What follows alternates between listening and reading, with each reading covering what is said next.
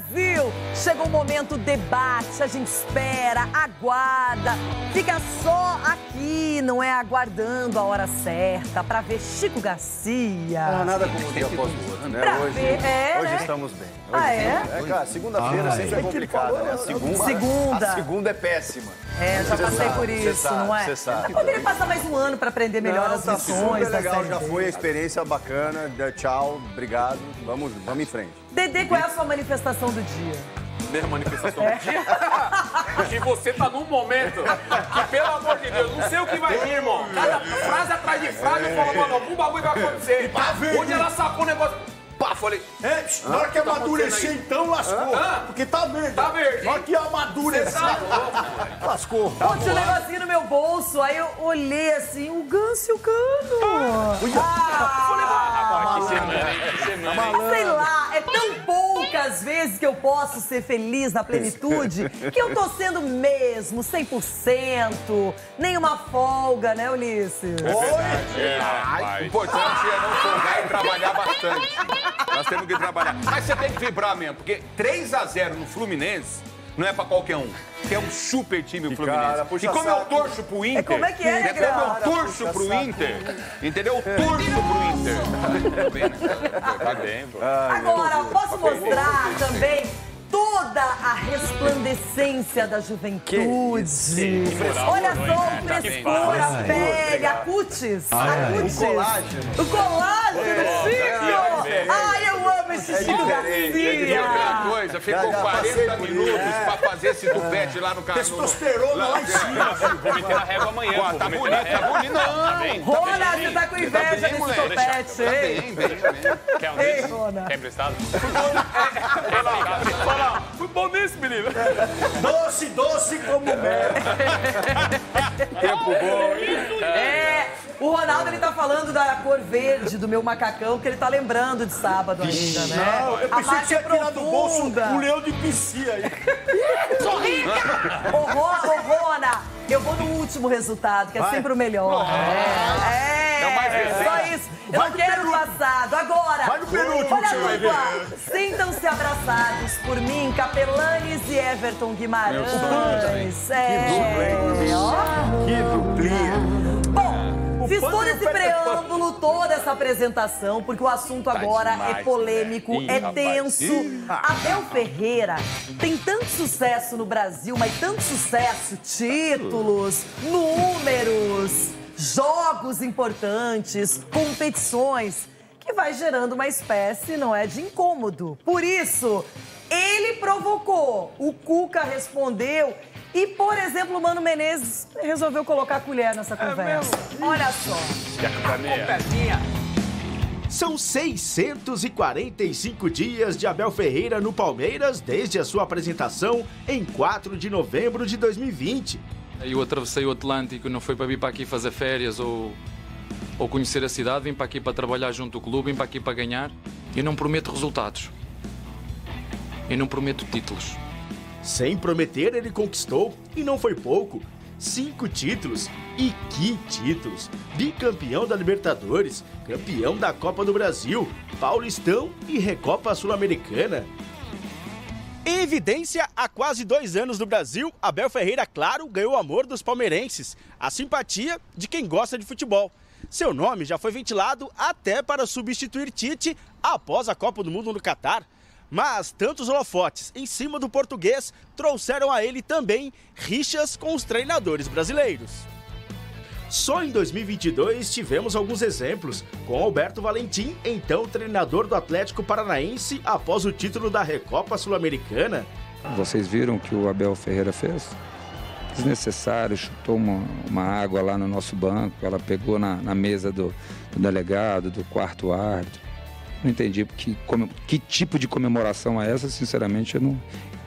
É um desnecessário. Tem que perguntar para ele, né? Porque que essa idiotice aí que ele fez. Na vitória por 4 a 2 em cima do Atlético Goianiense na 12ª rodada do Brasileirão, a rusga foi com Jorginho. É, é uma coisa que me revolta como treinador, como brasileiro, porque vem no nosso país e está desrespeitando o nosso país, os nossos árbitros. Né, dizendo que ele é cego, xingou ele de tudo quanto é nome e nada aconteceu. Mas tudo bem, vai ficar como se eu perdi o jogo, é o choro do perdedor e as coisas passam e não acontece nada. Campeão paulista de 2022, batendo São Paulo na grande final por 4 a 0, mas eliminado nos pênaltis da Copa do Brasil. Abel atribuiu o revés à sorte. Fomos melhores e no final passou o nosso adversário. Fomos melhores, na minha opinião. Tem o fator sorte e acho que hoje o nosso adversário foi muito feliz. Cara, é a segunda vez que eu tenho sorte contra ele, né? Contra o Flamengo também eu tive sorte e nós fomos campeões da Supercopa. Hoje também a sorte veio, né?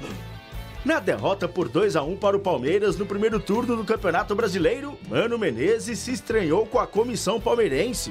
Não, nem precisa fazer gesto nenhum, né? Todo mundo vê, né? Sabe que eu achei que, que eu tava meio exagerado. Tá? Aí fiquei olhando o Abel Ferreira do Palmeiras e virei um juvenil em, em termos de reclamação. E eu não sou experiente na matéria, eu tenho 43 anos e ainda sou juvenil nisto. Eu ainda sou, como se chama aqui, juvenil, não é? Sou juvenil. Ah, Esse já é sénior, esses são sénior, já tem 60 anos, é nível sénior. A rixa mais recente foi com Cuca. Após a eliminação nas quartas de final da Libertadores nos pênaltis para o Palmeiras, o treinador do Galo explicou a derrota com dois jogadores a mais. Uma sensação que de repente, se um jogo fica 11 contra 11, a nossa oportunidade era maior até de vencer do que o 11 contra 10. O Cuca é um treinador extremamente experiente, com muitos títulos. Uh, ele seguramente quando vir este jogo, ele vai perceber que tinha muita gente por fora do nosso bloco. Tinha sete jogadores, tinha por fora do nosso bloco, por fora. E tu tens que ter gente por dentro para poder atacar a nossa linha. Isso foi para nós foi mais fácil de, de, de controlar. Aí o treinador colorado Mano Menezes entrou na conversa e deu seu pitaco. Vocês já ouviram uma aula semana aí passada que tem que botar gente dentro do bloco, não pode só jogar por fora do bloco. Então vamos trabalhar isso, é, é necessário. E Cuca fez questão de responder o português e, claro, dar aquela cutucada no treinador do Palmeiras. Quando você está vencendo, né? Tudo que você faz é perfeito, é bonito, é maravilhoso. Se você sai no, no pro vestiário escutar música na hora dos pênaltis e ganha, pô, vira moda. Eu não vi. Perguntar, professor, você não viu os penaltis? Não, ele foi para baixo, estava a ouvir a minha música. E se perdesse? Quando você cai seis vezes no mesmo canto e ganha, pô, é legal. Você lembra o Muralha que caiu seis vezes e perdeu? O que aconteceu? Quando você tem dois jogadores expulsos, não passa nada, porque a cabeça é fria. Mas não foram cabeça fria. Podia ter quebrado um jogador expulso. Se a derrota vem para eles nesse jogo, vocês estavam cobrando as duas expulsões, as seis caídas do goleiro no mesmo canto, o treinador que não ficou para os pênaltis, etc. E tal. Mas quando se ganha, é, tudo é perfeito. Parabéns pro Abel, parabéns pro Palmeiras, boa sorte. Futebol e treinadores de lados opostos, opiniões diferentes e o resultado que dita o ritmo. Eu não concordo que no futebol tenha que haver um herói e um vilão.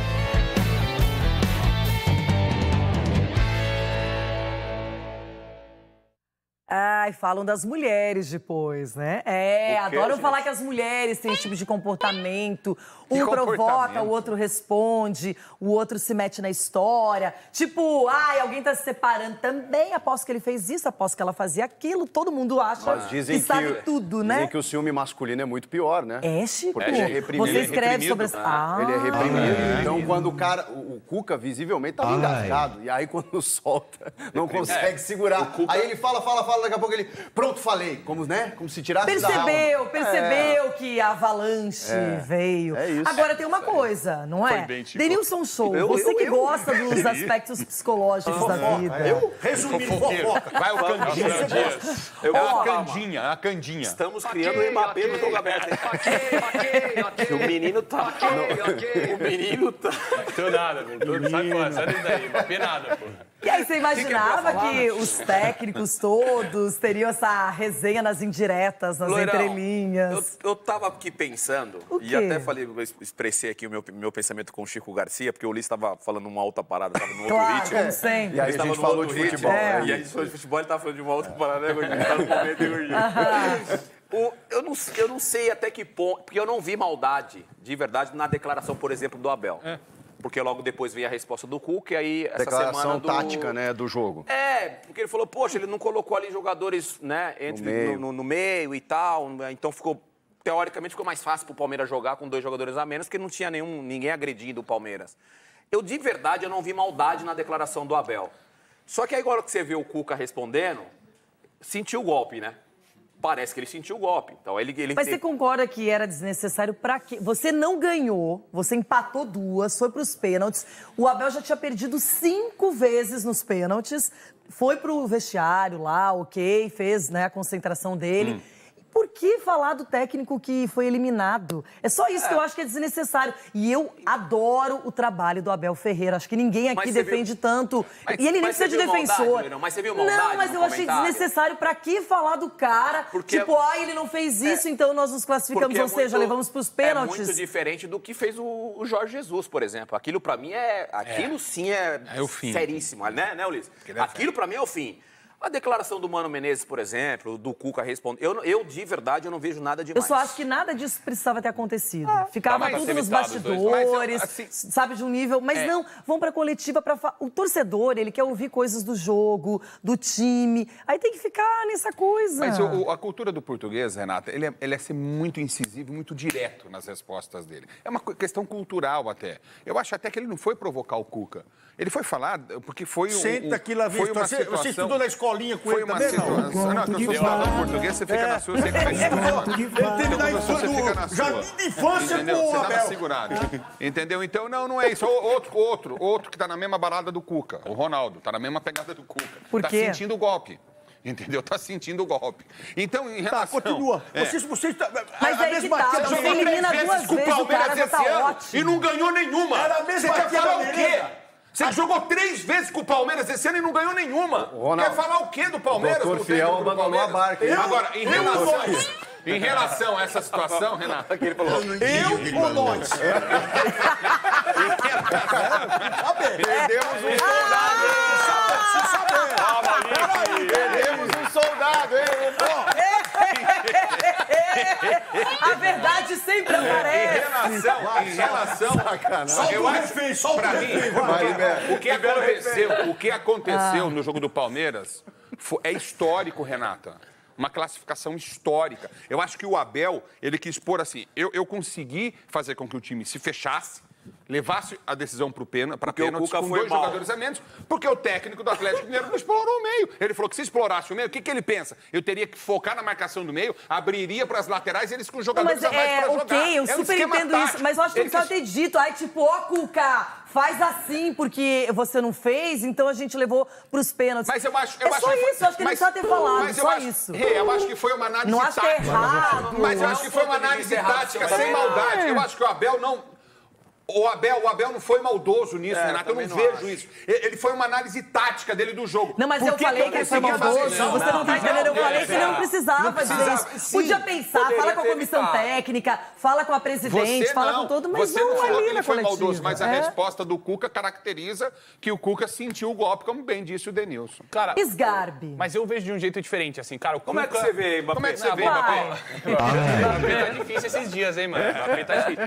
Não, mas só vou fazer até então uma analogia antes, aqui trazendo pra vida real. Analogia? Não, Pra- aqui. vem- ó, lá vem a caminhão. frase de caminhão. Não, essa não é de Analogia caminhão. porque ele fica ali na traseira do caminhão. Aí até eu. Mas essa, essa é assim, Rê, vamos supor assim pra vida real, sabe? Você tem uma ex-namorada. Você foi muito feliz com a sua ex. E o atual da sua ex fala um negócio assim, ah, mas você, o seu namorado lá, Conversou seu com o Chico namorado. Garcia, né? Você Ah, conversou com essa o Chico é, Garcia. conversei com o essa é Chico. do Chico. Putz, essa daí é do Chico difícil. Essa Não, isso é uma questão que, pô, aí a musiquinha Valeu Negrão. Mas o, o Cuca foi muito feliz no Palmeiras. O Cuca é um dos maiores treinadores da história do nosso futebol. Acho que isso é um fato, né? O cara ganhou tudo, ganhou de um jeito bonito o futebol, enfim. Daí ele vê o Abel, que tá no Palmeiras, também ganhando tudo, falando, meu, Cuca, você errou, você devia ter feito isso. Deve bater um ciúminho nele assim de, putz, cara, o cara tá ganhando tudo lá onde eu fui feliz e ainda, meu, ganhou de mim, falou que eu fui mal numa questão tática, eu um cara que ganhei tudo no futebol. Eu acho que ele viu mais desse lado, assim, por isso que ele sentiu.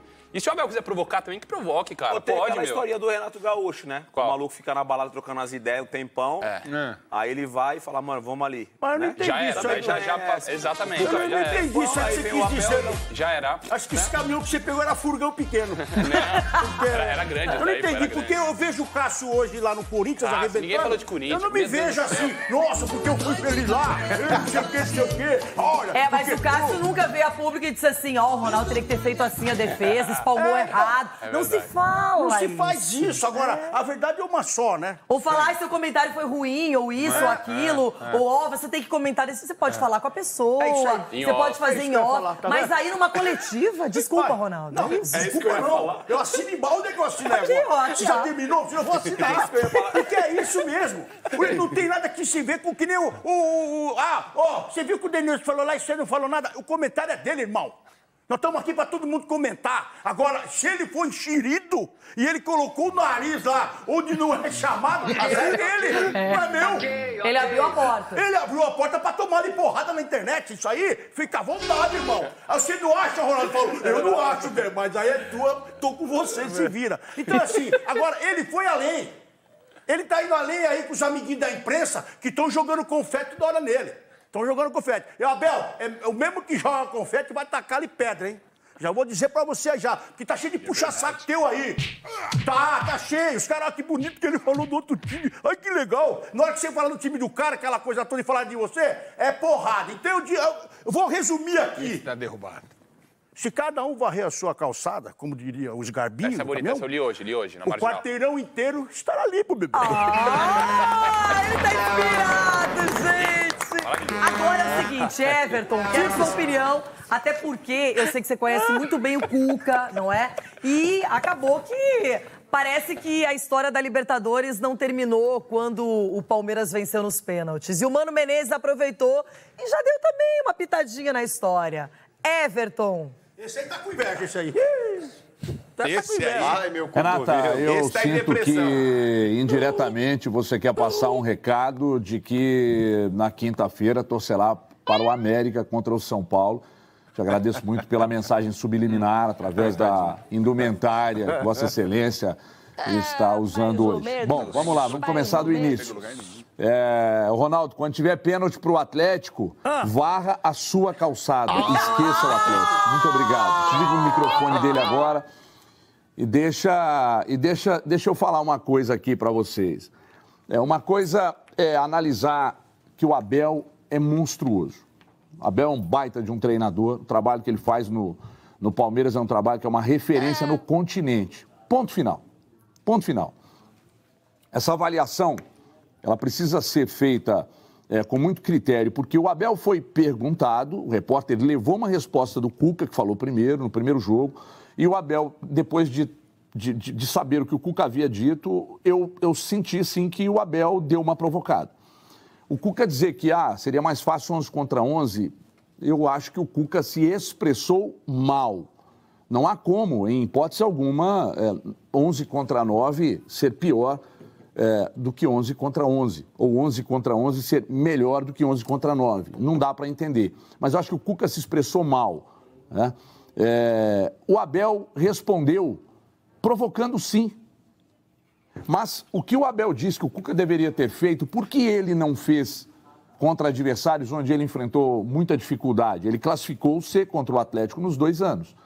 Mas ele ganhou do Atlético nos dois anos, ele ganhou do Cuca nos dois anos, ele ganhou do Cuca no ano anterior, quando era técnico do Santos. Então eu não estou aqui tomando dores, não. É uma análise sobre o que ocorreu. E aí o Cuca, no jogo de domingo, foi perguntado sobre o que ocorreu na, na semana anterior e respondeu. Para nós é ótimo. Agora, tem muita gente tratando o Abel, que é realmente um monstro, como um semideus, um grão-mestre, é, um, um- um coach machine, quando ele é um baita treinador, mas que também erra. Que também não teve um método, uma formatação infalível para ganhar do Cuca. Estou falando ganhar, classificação aconteceu, estou falando ganhar com estratégias. Ele também não conseguiu ganhar do Cuca. Então, eu entendo que vale a pena badalar o trabalho? Sim. O Cuca no passado foi muito badalado e fez um trabalho excepcional. O Abel badalado e faz um trabalho excepcional. Para nós da imprensa é ótimo que isso aconteça. Quando o Mano entra lá, se entrar mais uns dois aí, aí eu vou te dizer, hein? Aí vai ficar bom de vez, porque a gente tem assunto para debater aqui. Agora, achar que o Abel é santo, que não fez para provocar, e achar que do outro lado o Cuca também não respondeu para provocar, aí é inocência demais. Que são que, que, que eles se adoram, que são grandes amigos. Não. Um quer comer o outro vivo. A verdade é essa. Por enquanto, nos confrontos, o Abel levou a melhor. Mas o Cuca tem razão. Onde o Cuca foi desonesto na resposta? Onde o Cuca mentiu na resposta? Então tá tudo certo. Agora, tratar, é, não entender que o Abel também é um cara que sabe trabalhar e muito bem com a perfumaria retórica, aí é não querer enxergar. Porque quando ele vence, vence bem, os jogadores executaram nosso projeto. Quando eu empato ou perco, ou é arbitragem ou é sorte do adversário. O Rogério Senna está aí para provar o que ele disse. Ó, agora tem um Nossa, outro contexto. Galo? Calma, Oh, volta, não é volta. O Everton, o Everton disse o seguinte: que o Cuca teria falado primeiro sobre a questão de que dois a menos seria mais fácil se não tivesse os dois a menos, Falou. porque o Palmeiras não se fecharia tanto e 0 a 0 levou para pênaltis e aí passou nos pênaltis. Se o Cuca deu pitaco na história do Abel e o repórter perguntou sobre isso, aí eu também já não posso criticar o Abel. E o repórter chega e fala... Mas o se foi gratuito, se veio espontaneamente, eu não gosto. Agora, se veio de lá e chegou nele e ele respondeu, é outra história. Porque na coletiva foi Ou, eu falado... Não sei, não sei se eu tô falando alguma bobagem. Após o jogo, na Não, coletiva, após você tá o bem. jogo. Não, você está muito bem. Após Obrigada. o jogo, após o jogo, foi Vocês falado. podem me corrigir, eu permito. Porque a coletiva do Cuca foi primeiro, Tá. depois né, do jogo. Ele aí foi vem o antes Abel. falar. Foi antes falar. Tá. Depois vem o Abel. Não é mesmo? E aí, na coletiva do Abel, foi falado isso. O Cuca falou lá que seria mais fácil jogar 11 contra 11. E o doutor Galo tá equivocado aí, doutor Galo, doutor Galão aí, E não pelo seria- seguinte. Porque é o seguinte, eu- eu- eu- eles pegam, a Não, imprensa um pega galo ó, a distorcido aí. palavrinha de um do outro e vai jogando aqui na hora que quer, a imprensa. Porque o começo da imprensa do Abel também, rica. agora, esse último jogo aí que eles venceram, ele já começou. Contra é, fecha quem? a porta, senão eu não falo mais. Fecha a porta aí, senão eu não falo. Isso aí eu não falo. Isso Tá, aí mas- já tá dando pancada em, em jornalista. E os jornalistas lá com a, com a camisa por debaixo do Palmeiras não leva a público. Porque eu ouvi a entrevista desde o começo. Eu adoro ouvir. Eu gosto de ver Mas o jogo é- e ver mas ele tinha entrevista. razão, Abel. e ninguém trouxe. E o doutor Galo aí agora tá querendo fazer joguinho. Ó, Pega 30 segundos de um aqui, 30 de outro Ô, ali. E quer doutor combater, Garim, fazer um mas tá debate de, varrendo a de calçada coletiva. todo mundo, Vai pro hein? inferno, Tá varrendo geral, hein? Toca o molejão aí, ué. Ó, você, Vai varrendo, se vai falou, varrendo, vai varrendo, aí. vai varrendo, mas quer varrer a calçada E de todo, todo mundo, hein? agarra cai. E todo time que Nossa, você se apega, cai. O, o, você tá se Impressionante. apegando agora Galo coelho. caiu. Vai pegar o América Ah, agora. o seu tá ótimo. Vamos ver o que vai acontecer com O a seu América. tá ótimo. Agora você fica se o agarrando com esse peso, o com esse peso, se agarrando ao coelho. O Ao coelho não vai saltar. Ai, eu acho que vocês estão igualzinhos, sabe quem? Abel, Mano Menezes e Cuca. Ah, é, são os três aqui, ó, três os aqui, três. iguais, iguais. Ô, ô, Everton, bom programa Tem aí. santo na Minas. história, não, Fala, hein? fala, Everton, fala. Quer falar mais? Ele pode. Vai, não vai tem santo fórum. nessa Vai história, não, fórum? Não tem santo Galo. nessa história, não. Não adianta colocar que a culpa é desse ou daquele, não, que não tem santo nessa história, não. O Abel não é bobo, não. Você Ele tá tem perfumaria dormir, você tá retórica olheira. forte. E convence a turma, doutor Fiel aí, super Olha, convencido agora pelo pra você Abel. ali. Ó, pra você agora. Mas que todo mundo queria falar. Sabe aquela história? Eu quero falar, eu quero alfinetar gente. É. Tem sociabilidade na vida. Bom, Everton, obrigada, Tá Everton. com olheira, hein, irmão? Se cuida, hein? Agora, o Marcelão tá buscando pra gente a pergunta com a resposta. Pra daí Se sim. Fluminense. Vamos ver Sociabilidade. como foi perguntado dele. pro Abel e como o Abel reagiu e a sequência. Ô, Capelanes, você já brincou na infância de telefone sem fio, lembra? Começa de um jeito, aí quando chega no último, tá tudo errado, hein, Capelanes? Ah, eu adorava essas brincadeiras quando era moleque. Gato mia, polícia ladrão, pega-pega, esconde-esconde. Eu adorava. Agora, vocês estavam falando sobre essa, essa coisa aí, é, do Abel Ferreira, dos treinadores. Eu acho que o meme poderia mudar. Pra ser bem breve, o meme poderia mudar.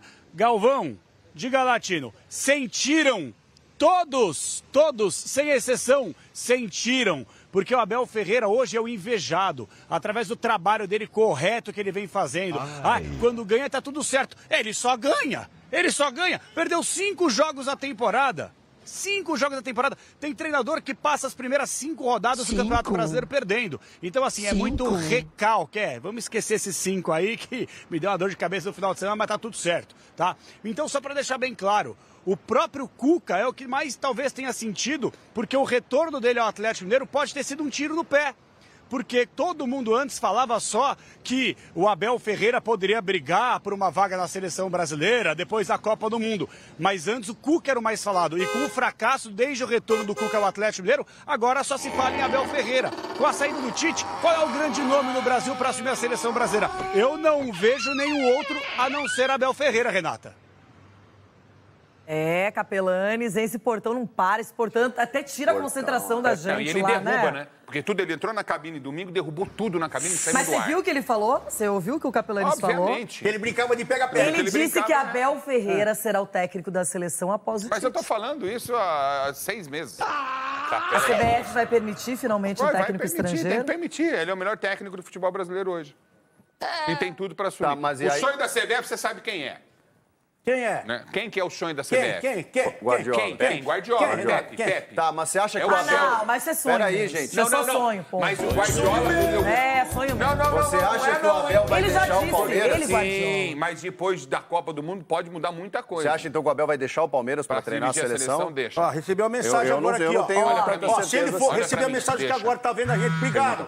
Meu, meu O canarinho. que, que foi, Chico, que você quer Falou aqui, ó. Se o Abel for treinador da seleção brasileira, ele já tem dois auxiliares. Cuca E, mano, e, e, e Rogério Ceni. E o Mano. Rogério? Não, o Mano vai ser o observador. Olheiro. O diretor. O Jorginho vai ser o olheiro também. Ah. Meu Deus do céu, quanta besteira. Não é? Mas todo Jorge- mundo Ele vai não ajudar esquece ele. do Jorginho, você acha que... O Jorginho vai estar na vida do Ronaldo quarta-feira. Chega na hora. Ai, Rora. O Jorginho já tá arrumando desculpa. O Sgarbi Jorginho, falou que o. Abel tá alugando os APs na cabeça dos treinadores. Tá, tá. Os caras Triplex, estão é se dormindo. triplex ainda. Ô. Denilson, mas tem, a gente tá vendo que tem essas tretinhas. Arre. É lógico. gosta. Ah, você acha que os Ó, caras saem do jogo? É só vocês que pensam ingênuos. Ai, sai do jogo, nem lembra o que aconteceu. Lembra, Ninguém lembra. pensa mais, aí tem o retorno, O Denilson brigava com o roupeiro por causa do calção. Ele falou, ó, o calção, o calção do Raí é é mais apertado, o meu não é. porque Ah, não então tinha esse acredito. negócio. Tinha que dar ponto, tinha que dar ponto. É, a meia, a minha meia toda aqui, ó, tá soltando aqui, ó, tem que amarrar. Você, Dedê. Tem que amarrar. Mano, você é um fenômeno.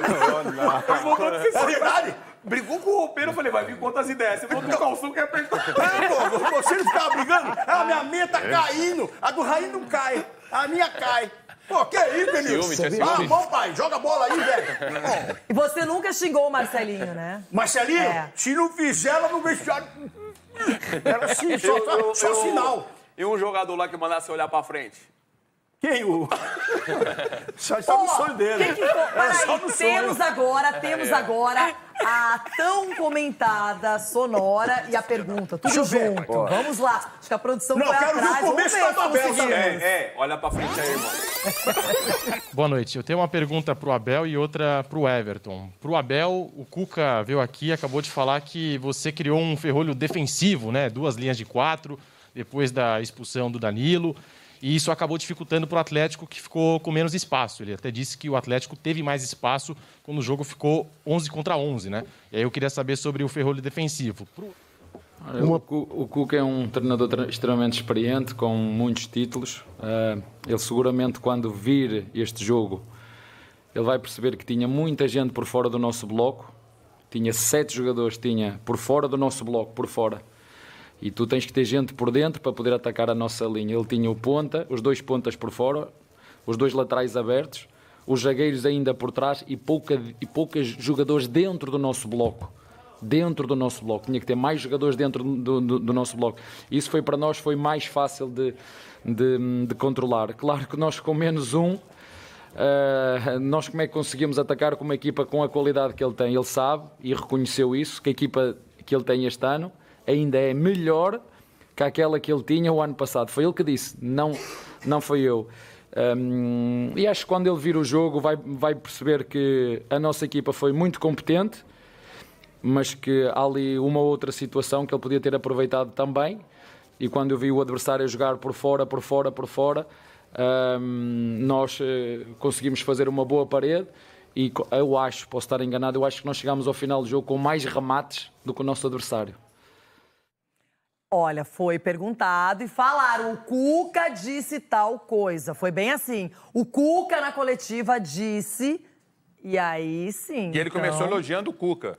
O Cuca é um grande treinador, tem que respeitar, só que vacilou. Mas no final deu sim, deu aquela. Sabe aquela história, a lição de moral? Mas falaram pra ele que o Cuca começou. É, mas